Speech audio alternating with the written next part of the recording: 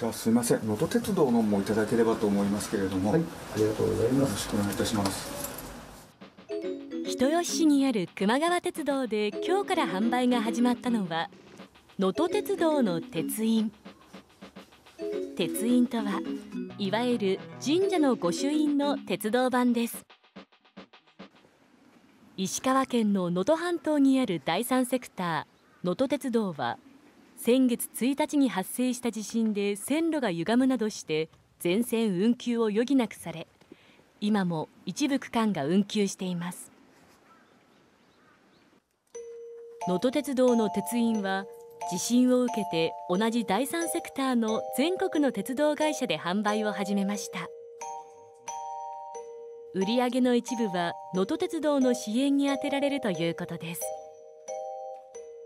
能登鉄道の支援も含めて、えー、鉄印を販売しようかというお話でじゃあうちの方も手を挙げさせていただいてですね、えー、鉄印を販売した次第でございます。将来復興した後に乗ってみたいと思います、はい、今はこちらの支援という形でここで購入しましたけど、はい、ただ向こうでまた乗りたいと思います。4年前の熊本豪雨で被災し全国から支援を受けた球磨川鉄道。恩返しをする思いで取り組んでいます。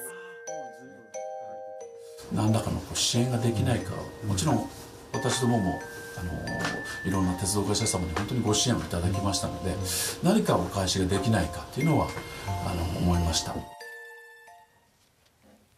この能登鉄道の鉄印は球磨川鉄道の人吉温泉駅と朝霧駅で購入できます、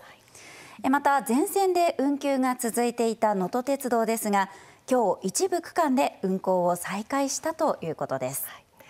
全線再開にはまだしばらく時間がかかる見通しですが支援の輪が広がるといいですよね。そうですね